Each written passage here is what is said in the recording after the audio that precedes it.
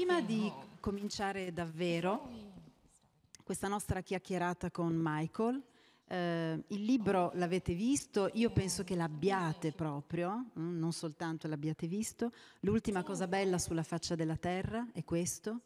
Prima di cominciare eh, ho anche il compito di eh, provare a dirvi ah, qualcosa di questo libro, provare a raccontarvi eh, molto velocemente quale storia racconta questo romanzo.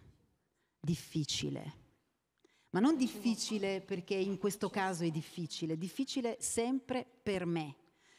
Eh, quindi per me è un compito arduo, ma ci provo. E ho deciso per farlo di cominciare come Michael ha cominciato.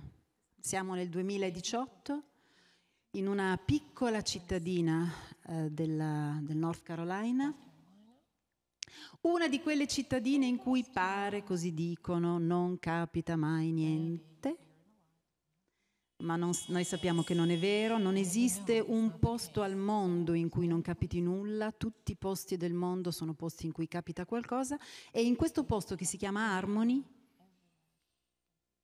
fatemi stressare un po' il nome, Harmony, Qualcosa è successo, dobbiamo andare indietro di molti anni, 18 anni circa, quando nel 2000 un giovane ragazzo, Iggy, un diciottenne, una domenica, che non so perché io immagino soleggiata, ma non importa, durante una funzione eh, nella prima chiesa battista, una funzione come tante, si prega, si canta, si suona, mm, si alza in piedi, attraversa il corridoio centrale della chiesa, ha una tanica di benzina con sé, ha una scatola di fiammiferi, vorrebbe fare qualcosa che però non riesce a fare perché le mani gli tremano troppo, la tanica di benzina cade, la benzina si riversa sul pavimento e il risultato di quella domenica è che 25 persone dentro quella chiesa battista muoiono.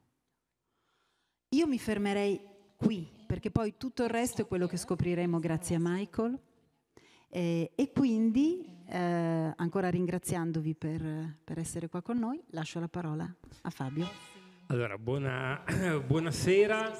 Io comincio subito con una domanda per, per Michael. Io comincerei banalmente dal, dal titolo. Eh, voi avete visto, se avete il, il, libro in mano, che il titolo originale era di Ancient Hours, quindi le ore antiche. Eh, è interessante sapere quali fossero queste ore antiche, se eh, erano antiche in quanto l'approccio alla storia ha un andamento, oserei dire, biblico, che tra l'altro crea un buffo gioco di parole con il cognome di Michael, ovviamente. Eh, e invece che cosa ne pensa del, del nuovo titolo che Adelphi ha, ha, proposto e ha scelto? Much prefer the Italian title. Um, much, much better. Uh, yeah, I was concerned with time. I wanted to write a book about time, and um, I went through many, many titles, as I was telling you guys earlier. I'm very bad with titles. Uh, one of the titles, an original title, was called The Endless Idiot, which comes from a quote from Carson McCullers, uh, which says, Time is an endless idiot running around the world. And um, my publisher hated that, and so we went with uh, The Ancient Hours. Um, I think it's uh, that title, Ancient Hours, speaks to uh, an idea that's a concept in the book about called the constant uh, sort of time is this constant force um, and uh, a sort of despair and love that's sort of wrapped together um, that's always with us. And in these characters, they identified in each other. The Italian title refers to Iggy watching uh, a leaf fall, a blossom fall from a tree um, as he's about to be executed, and he um, posits that it might be the last beautiful thing on the face of the earth to him. Mm. Cominciamo col dire che il titolo italiano è molto molto più bello, decisamente molto più bello, questo sì. Eh, è vero, c'è questo riferimento al tempo, come dicevi tu, e mh, mm, io, come vi dicevo poco fa eh, nell'altra stanza, effettivamente sono pessimo quando si tratta di dare un titolo ai miei libri, quindi ne avevamo tutta una sfilza di potenziali papabili, diciamo così.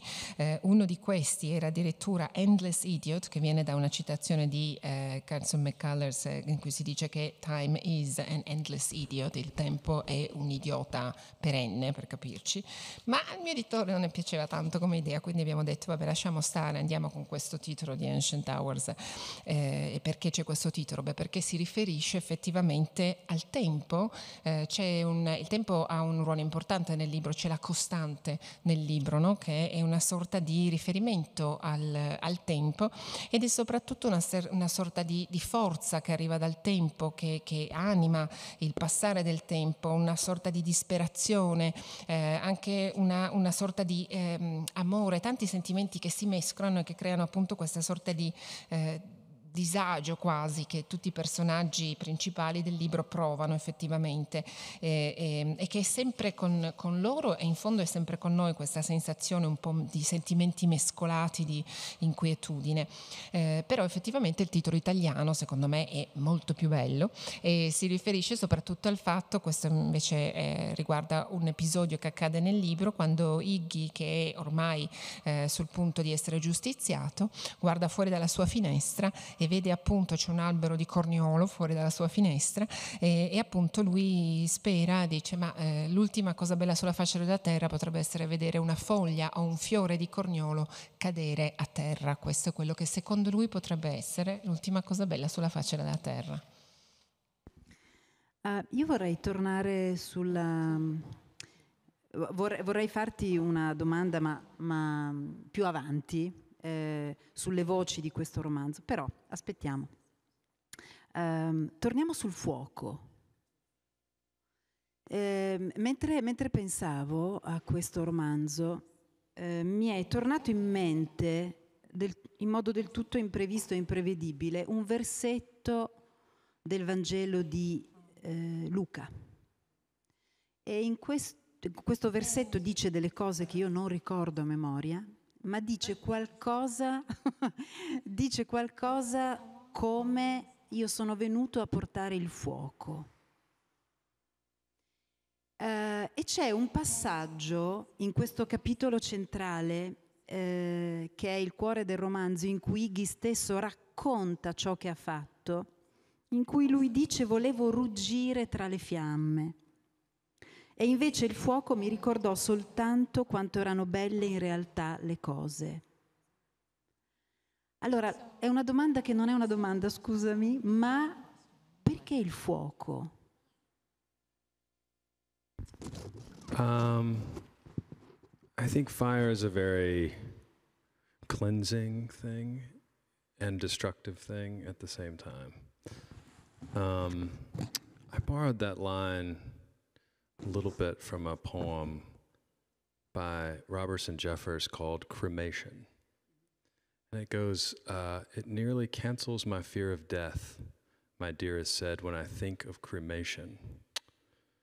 To rot in the earth is a lonely end, but to roar up in flame. Besides, I am used to it. I have flamed with love and fury so often in my life. No wonder I am tired. No wonder I am dying. We had great joy of my body, scatter the ashes. And I, always loved um, the idea that things could end in fire. Uh, there's another poem by uh, Robert Frost about fire and ice and how the world will end. And um, fortunately, fire is too often a thing we deal with uh, these days. In many ways, but I, I found that cleansing and, and destruction to be an interesting idea. Facciamogli un applauso Mamma per la poesia, per la poesia a memoria. Sì. Adesso c'è. Non, non, è, oh, non è ovvio, non è ovvio, no, quindi no, no. vai. Perché il fuoco? Beh, perché il fuoco ha un po' una doppia funzione, nel senso che da una parte purifica e dall'altra distrugge. Al tempo stesso due, queste due forze estremamente significative. Eh, e io devo dire che mh, questa, questo passaggio, in particolare questa citazione, eh, arriva appunto da questa bellissima poesia che io ahimè non vi posso recitare in italiano, vi chiedo perdono, l'avete sentita recitare da lui, di Robertson Jeffers e che eh, si chiama Cremation, cremazione, ed è una bellissima poesia però perché effettivamente in sostanza eh, parla del fatto, eh, tra le frasi più significative c'è il fatto di, di dire io ho, ho, dire, ho, vissuto di fiamme tutta la mia vita, sono passato da una fiamma all'altra e eh, la vita è stata una grande gioia, adesso eh, spargete le, le, le mie ceneri per l'appunto come spargere questa gioia per l'appunto della vita vissuta in maniera così intensa.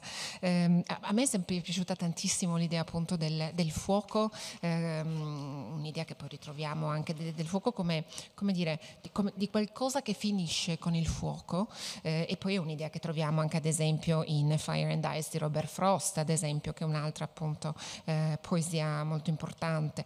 Insomma, ahimè, eh, talvolta il fuoco eh, ha degli effetti nefasti, questo è vero, però devo dire che invece appunto a me ha sempre affascinato molto questa dualità tra la purificazione e la distruzione che sono quasi elementi intrinseci del fuoco.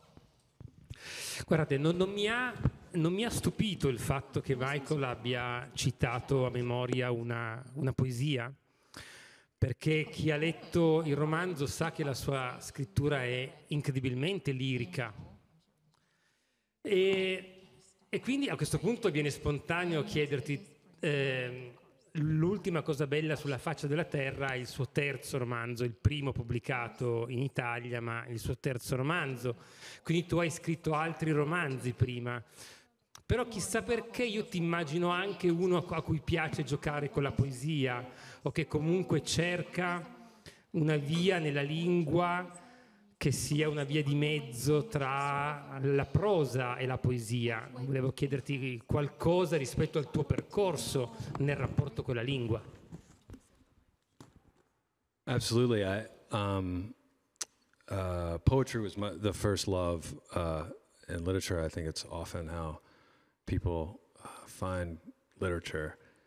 Um, and I, I, come from a, maybe I won't call it a, a school exactly, but um, uh, the the writers that I loved and and the the, the teachers that I had um, were very focused on the sentence. The sentence was the the the unit, um, and we were sentence writers.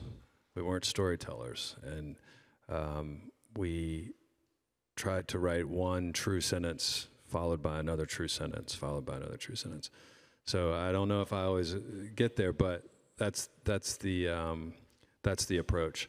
So it's much like um, poetry, and um, in English, um, I, we scan um, in poetry. I'm sure you do similar.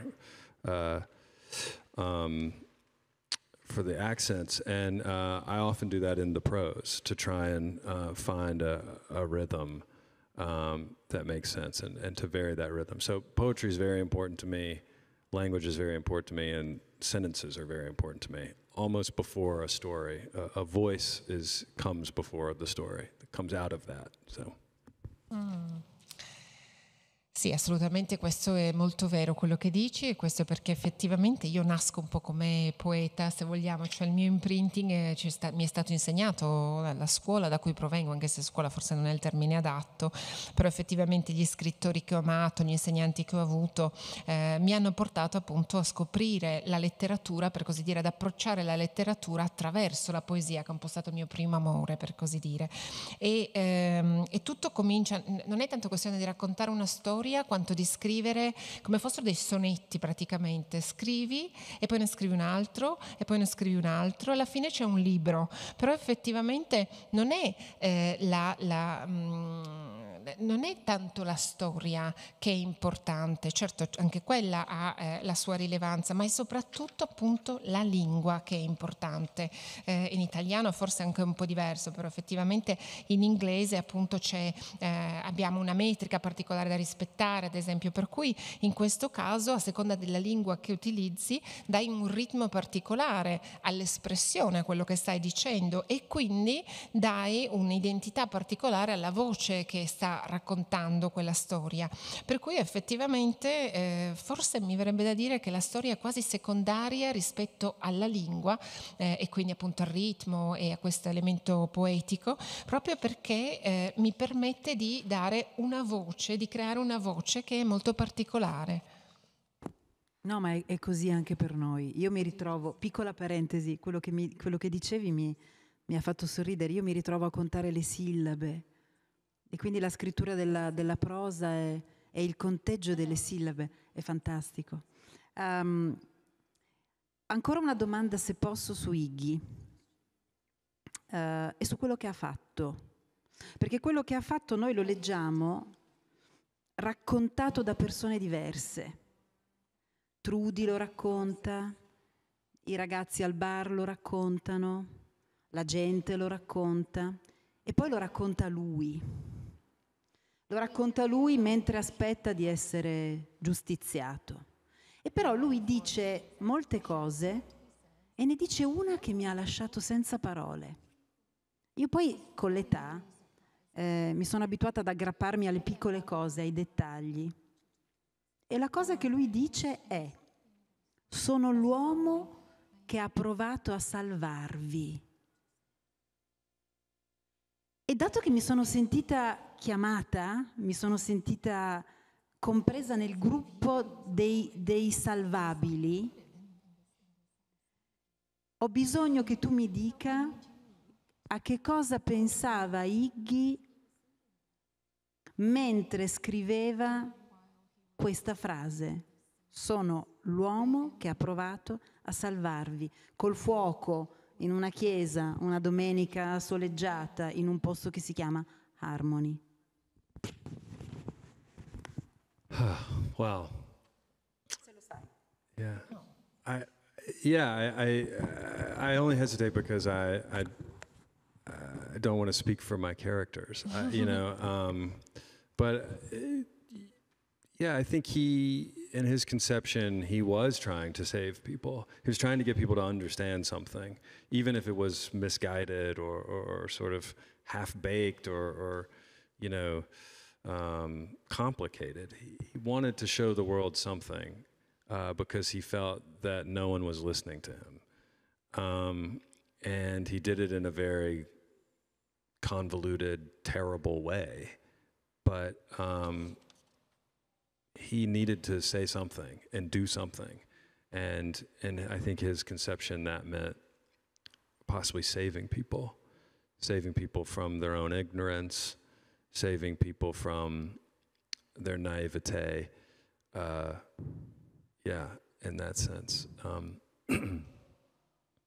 yeah, I think that's as good as I can get for Iggy. I apologize, Iggy. Dunque, esito a rispondere perché non mi sento tanto a mio agio a mettere parole in bocca a Iggy, non mi sembra giusto. Eh, effettivamente sì, lui cerca, cerca, il suo è un tentativo di salvarci, direi, di salvarvi, ehm, ed è anche un tentativo di eh, permettere agli altri di comprendere delle cose che eh, secondo Iggy la gente non capisce, magari un tentativo eh, che non va a buon fine per una serie di motivi, magari anche perché lui è, è confuso, è strafatto, insomma ne ha tutti, tutti i colori, per cui insomma non ha la mente proprio, proprio proprio lucida in quel momento, però comunque sia lui questa cosa la sa, lo fa in maniera deliberata quello che fa ed è proprio perché vuole, ehm, vuole, vuole far capire qualcosa, vuole mostrare, vuole rendere evidente qualcosa che invece gli altri sembrano non capire, non vedere assolutamente.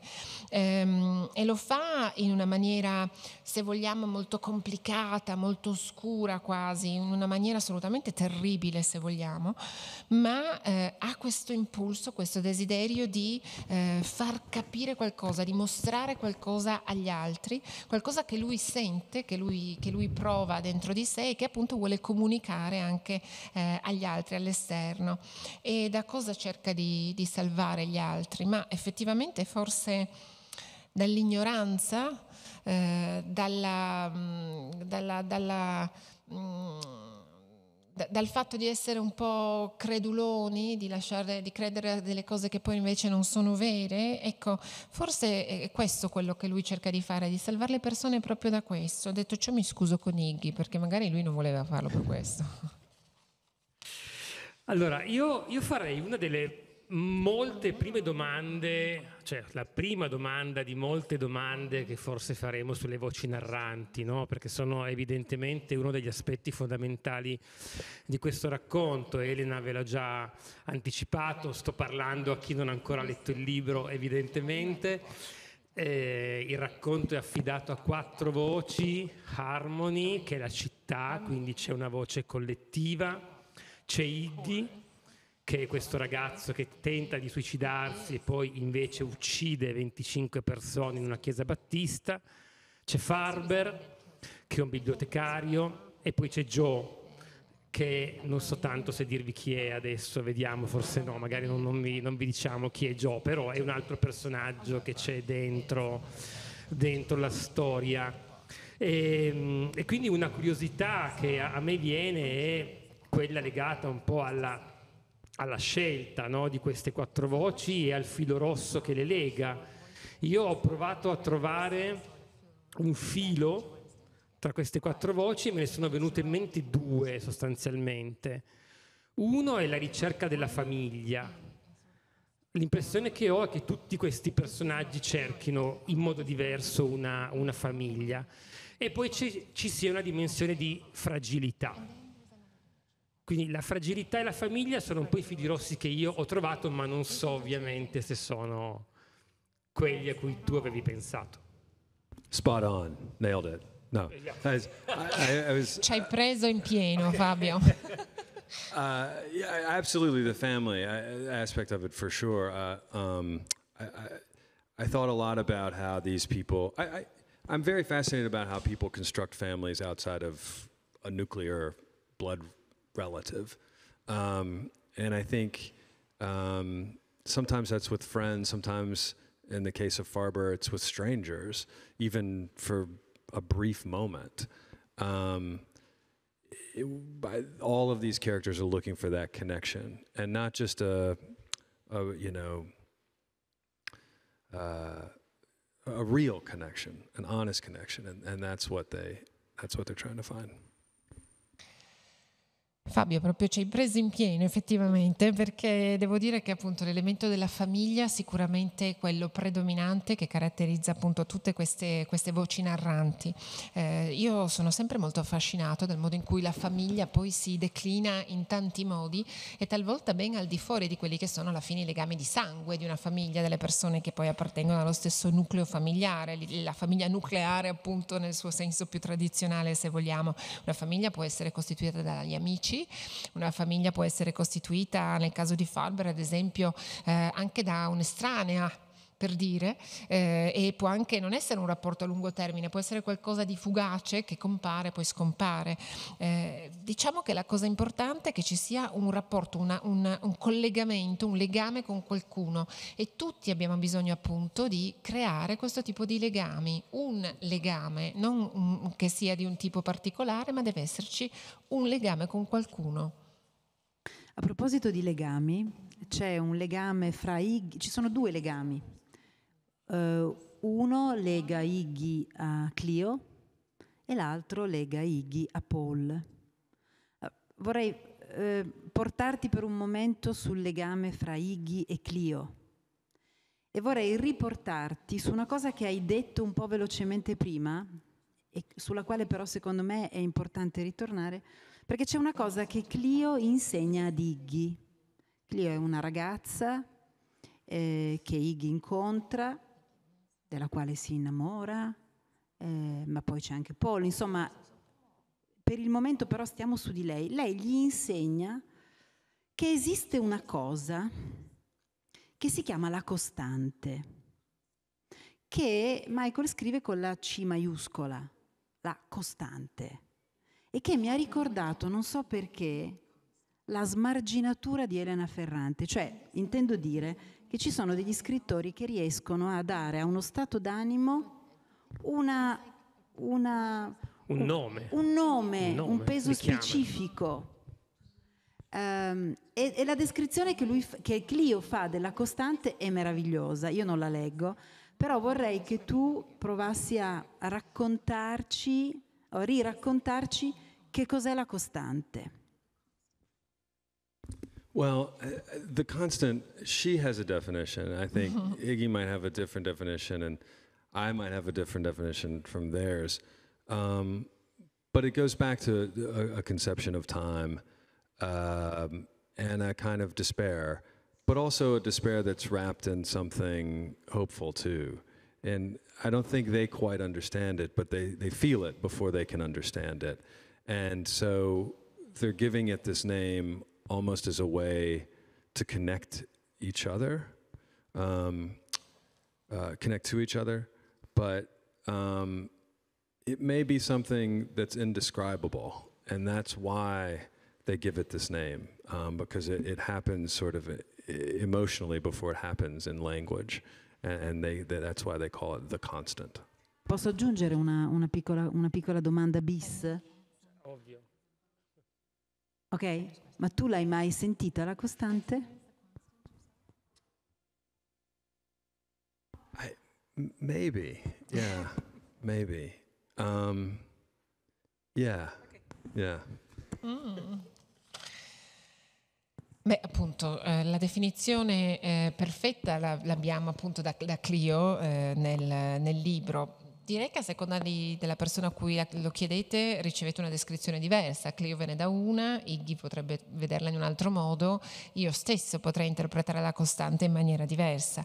È appunto un concetto che si riferisce al tempo e anche alla disperazione, se vogliamo, ma il tutto avvolto in una sorta di speranza di qualche tipo.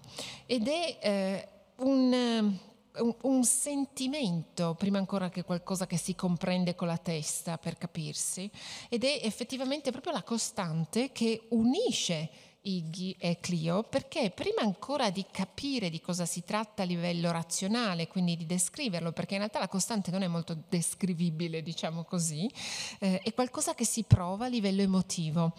Ed è forse per quello che, siccome è così incentrata sul livello emotivo, è difficile da spiegare, perché prima si prova come emozione e solo dopo c'è la parte di linguaggio in cui bisogna tradurla in parole queste emozioni. E quindi appunto sì, direi questa è la costante.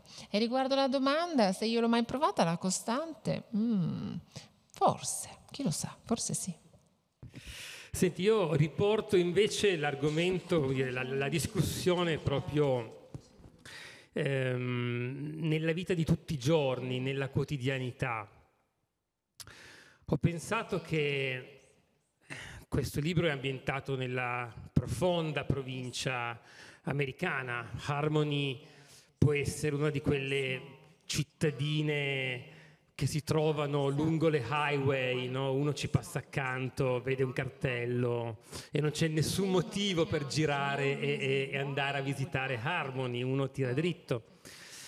E, e quindi mi chiedevo se ci fosse anche, e, le, e la risposta può essere no, eh, se ci fosse anche una dimensione politica no, nel tuo racconto nel senso che questa profonda provincia americana, bigotta, omofoba, eh, che usa la, la, religione quasi come una droga, no? poi hanno paura delle droghe sintetiche, ma in realtà la religione è dopante per loro, è una religione sintetica anche, anche quella. Ecco, mi chiedevo se ci fosse anche una ricerca di, di analisi, critica, riflessione sulla politica di oggi in America, che, che sappiamo essere un'America estremamente polarizzata,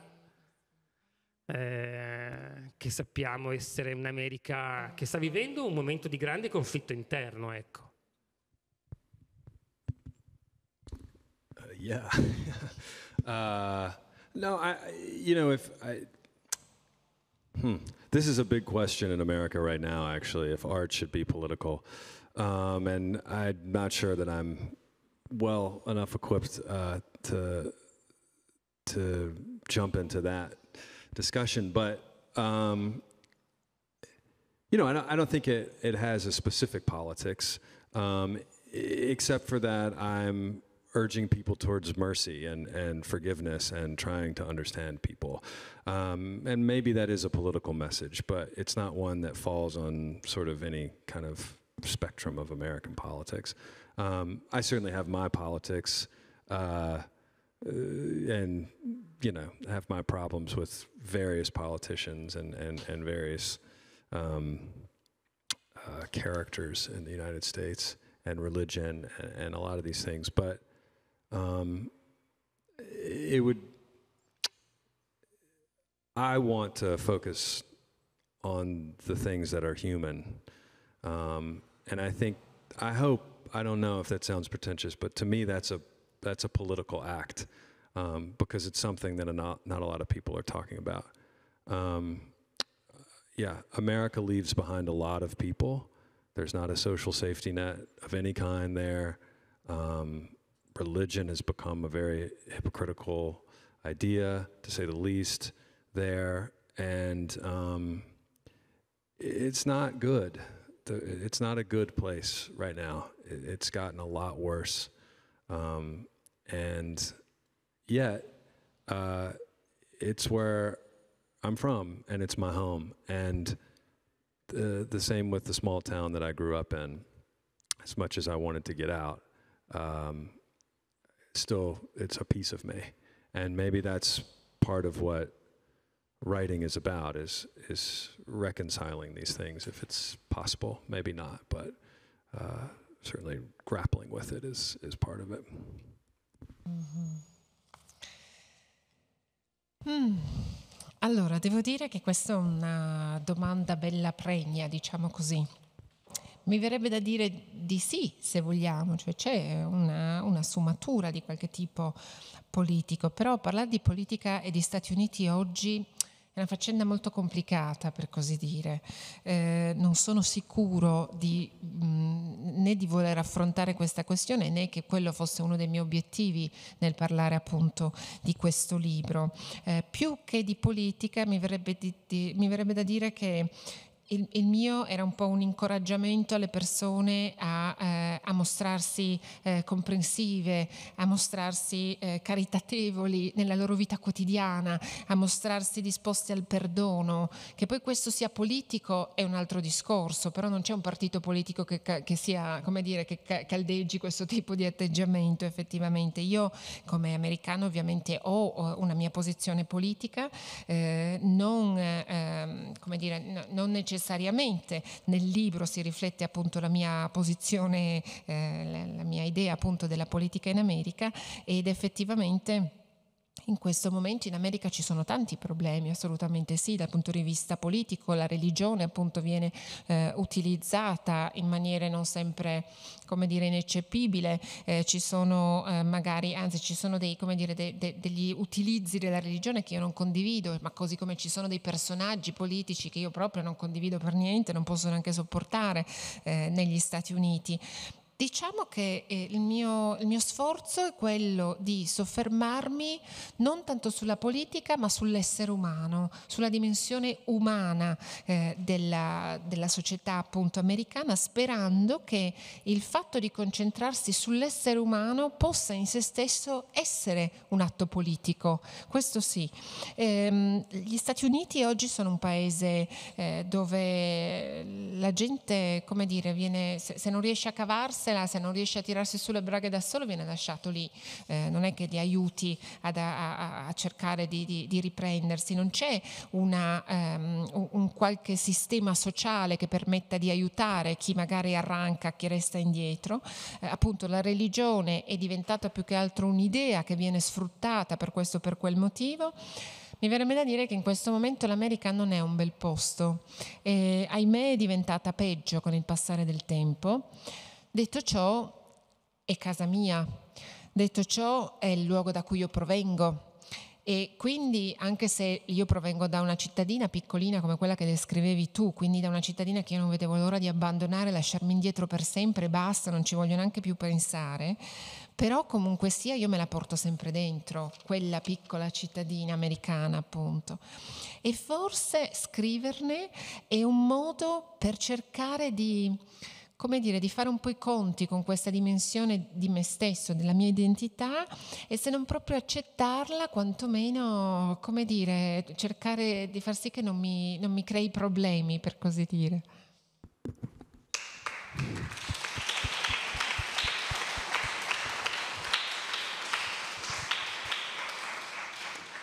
Ecco, a proposito di, di, quello che dicevi, no? questa questa, mm, questo sguardo su, sull'umanità che è un atto politico di per sé, no? È interessante perché il tuo romanzo è un, in, è un intreccio di voci, non ce n'è una in particolare, no? ce, ne sono, ce ne sono tante. C'è Harmony, c'è Iggy, c'è Farber, c'è Nuvola.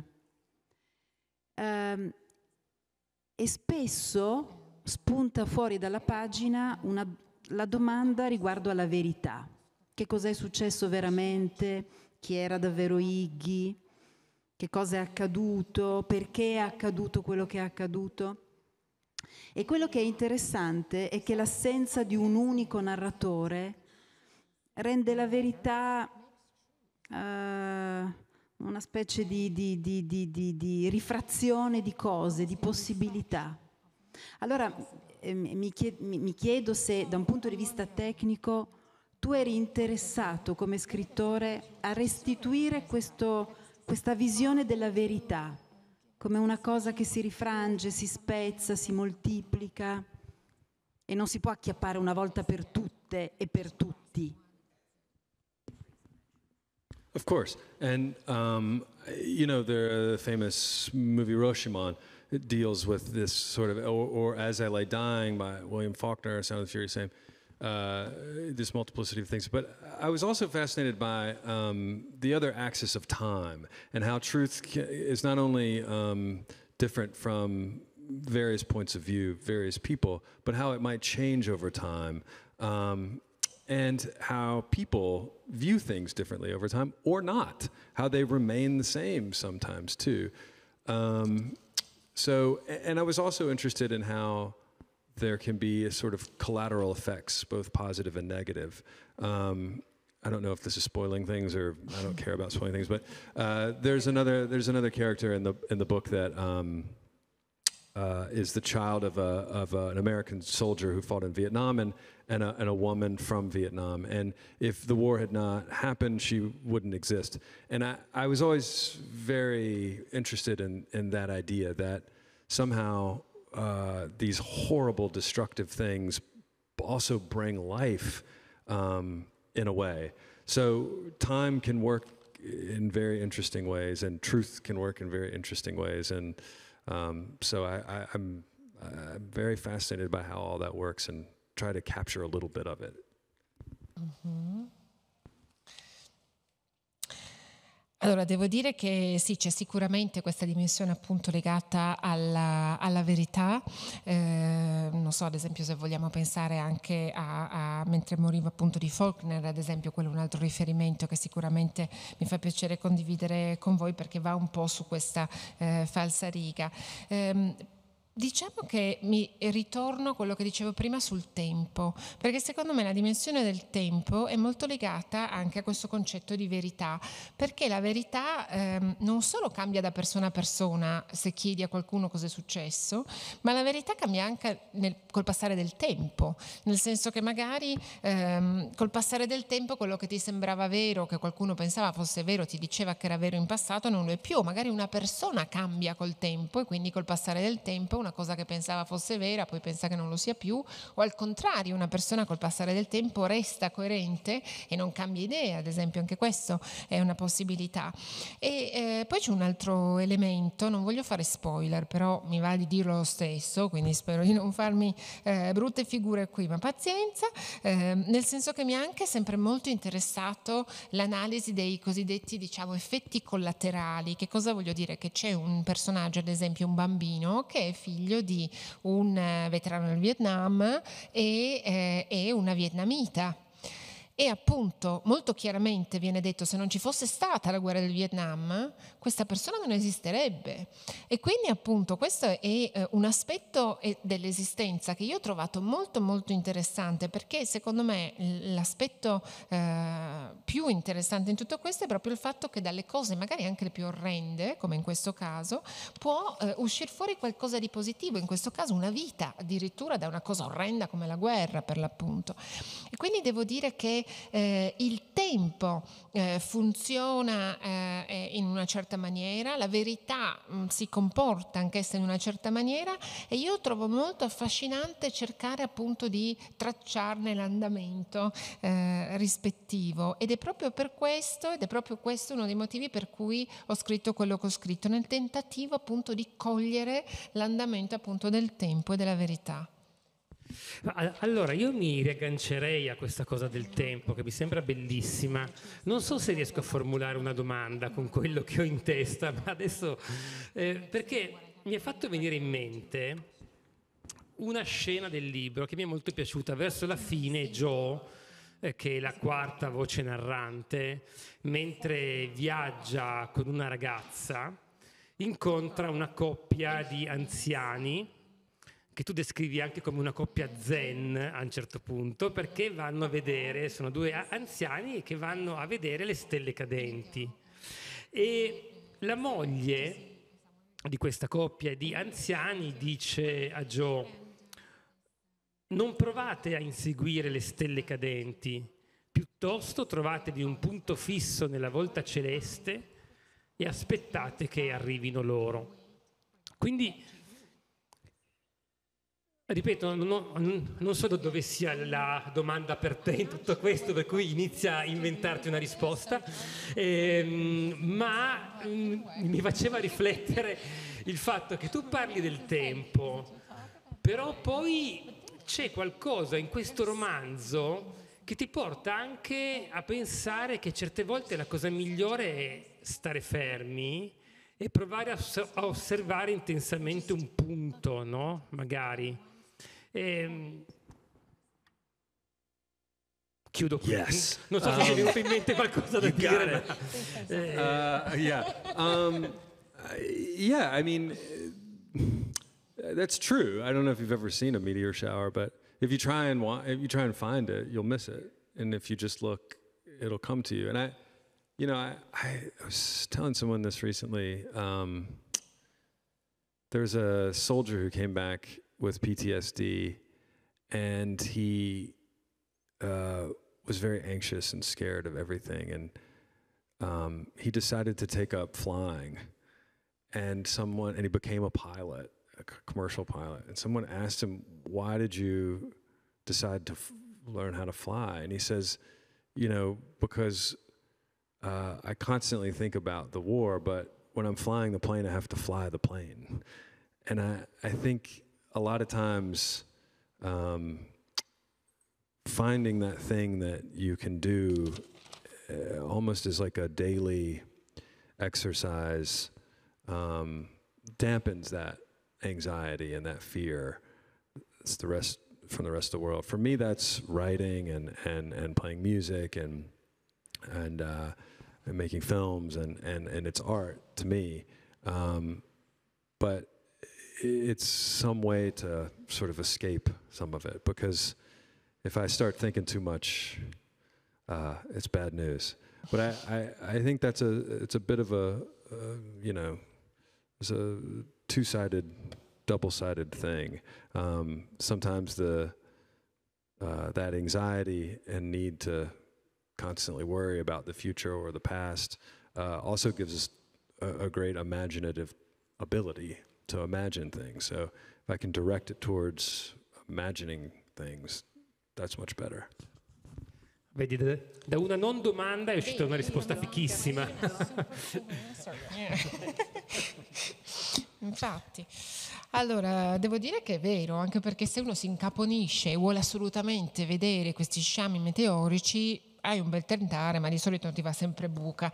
E invece, appunto, devi avere anche la fortuna no? di trovartici lì e guardi in su ed ecco appunto eh, queste stelle cadenti.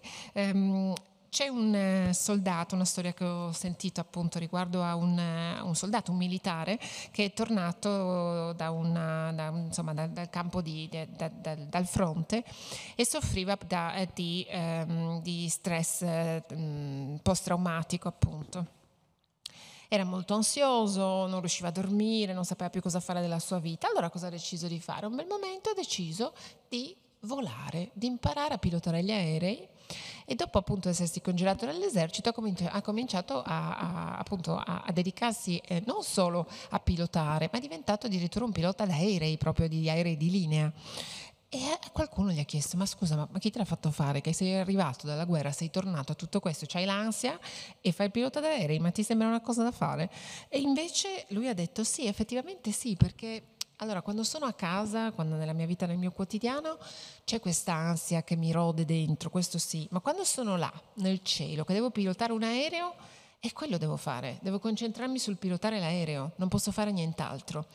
E quindi secondo me la cosa interessante è che ognuno di noi in un certo senso, pur soffrendo appunto di queste ansie magari molto, ehm, anche, anche, molto um, in, intense che, che, ci rendono la vita molto difficile, beh, po- ognuno di noi può comunque trovare un modo per ridurle queste ansie, magari concentrandosi su qualcos'altro. Per questo pilota e pilotare appunto, per questo ex soldato e pilotare un aereo, per me ad esempio anziché farmi prendere dall'ansia esistenziale, oddio adesso chissà cosa succederà, eh, io mi dedico alla scrittura, oppure mi dedico, ascolto la musica, oppure mi piace molto l'arte, oppure faccio dei film, scrivo delle sceneggiature per i film, insomma è un po' un modo per sfuggire a questo tarlo che se no ti, ro- ti rode in testa e non ti permette più di fare assolutamente niente, perché quando comincia, se no ti parte appunto quest'ansia nella testa, poi non vai più da nessuna parte. Però devo dire che effettivamente forse c'è anche un altro lato della medaglia, nel senso che nel momento in cui hai questa ansia così forte, magari hai bisogno, cioè che cominci a essere super preoccupato di questo o di quell'altro, beh magari in quel momento è il momento in cui io appunto come scrittore comincio a pensare al passato, oppure comincio a pensare al futuro. E questo fa sì che in un certo senso eh, la mia ansia diventi fonte di una creazione eh, di qualche tipo. Io ho ancora una, una piccola allora, domanda. sì, eh, ultime piccole domande. Ultime Io farei un avviso agli, ai, naviganti dicendo che ci stiamo mollemente avviando verso la fine. Quindi se cominciate a pensare alle, alle domande che eventualmente vorreste fare, noi fra un attimo vi diamo la parola, ok? Tanto io ne ho proprio una piccola. Ho una domanda um, onomastica. Eh, tu sei del North Carolina? Eh, c'è una bambina, non diremo di chi è perché non si può dire di chi sia, ma c'è una bambina che si perde in una biblioteca e c'è una mamma che spaventatissima grida Carolina, Carolina, dove sei? Non è una domanda, però mi, mi, mi commuoveva un po' pe- pensando che tu sei del North Carolina. Bisogna, ti chiedi anche tu dove sia finita, dove sia finita, dove sia finito il posto da cui vieni? Si è perso da qualche parte? Again, spot on. No, uh, very good. No, it's interesting. I um, that was the first scene that I wrote of the book. That was the original seed of, of the the idea. Um, was just simply something uh, a child lost in a library, um, and I wanted to know, and a mother screaming for her and not knowing where she was, and I I wanted to know. Um, uh, who these people were and why this mattered. Um, and it started to, the story sort of kind of back, you know, mm. backtracked into the story. Um, yeah, I, that's, I've never thought of it that way. um, my niece is named Caroline. Um, uh, yeah, and I, I, I like that. It's an echo to the, to the place. Yeah. Elena, ci hai preso anche tu, perché effettivamente c'è questo, questo, sì, questo, elemento, questo collegamento, perché no? Assolutamente sì. Devo dire che questa scena è particolarmente importante perché è la prima scena che io ho scritto, eh, tutto cominciato, è cominciato da lì, da questa scena in cui sapevo che era un po' il primo semino da cui poi sarebbe germogliato tutto il resto del libro, eh, una bambina che si perde in una biblioteca e la mamma che urla la chiama per l'appunto. E da lì ho lavorato un po' come dire a ritroso per ricostruire tutto il resto del libro. Quindi mi sono chiesto: ma chi sono queste persone? Perché si ritrovano in questa situazione? Perché è importante che succeda questa cosa qui? E quindi, appunto, è così che sono arrivato poi alla storia vera e propria. Devo dire che non ci ho mai pensato però a questo, a questo collegamento mia nipote si chiama Caroline, appunto, quindi magari c'è una somiglianza anche lì. Però sì, è, insomma è interessante questa tua osservazione, non ci avevo mai pensato.